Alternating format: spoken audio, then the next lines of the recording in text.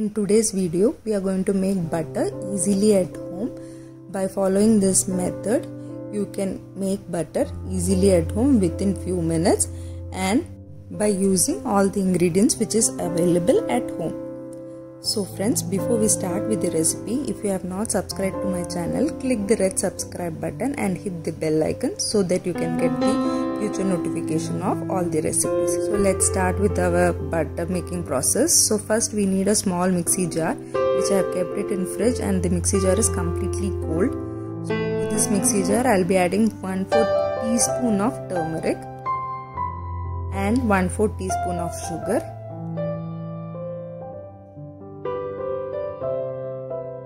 And then to this I'll be adding a pinch of salt.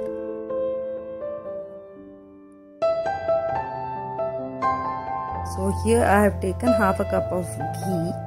So with ghee today we are going to make this ghee into butter. So after adding half a cup of ghee to the mixie jar, I'll just give a pulse to the mixie jar so that all the ingredients are mixed and to this I'll be adding half a big cube of ice. If you have small pieces you can add 2 to 3 pieces of ice. In the mixer grinder for 1 or 2 minutes and then you'll find that your ghee is already set in the form of butter. So now you can see it's soft like the butter which you find at shop. And you can use this butter for baking cakes and you can even use it for toast and making butter coffee. But only thing when you make cake or coffee you don't have to add salt and turmeric powder. But if you want a butter like the exact shop bought one like our amul butter and all for that you can add a little bit of turmeric.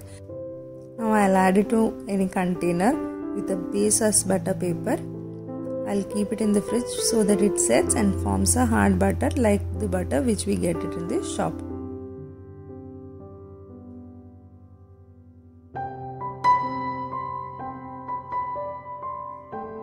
So keep it in the fridge and let it set nicely for another 1 or 2 hours.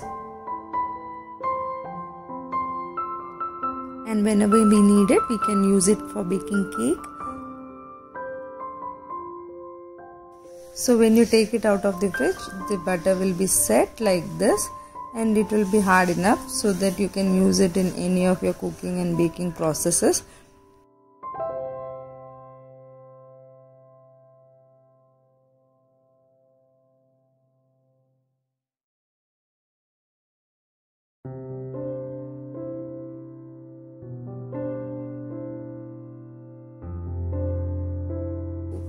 And this butter will not have any smell or taste of ghee.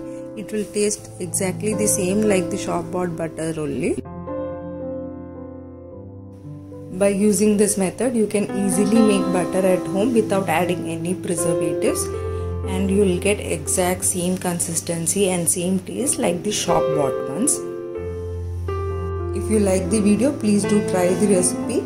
And if you have any feedbacks you can tell me in the comment section.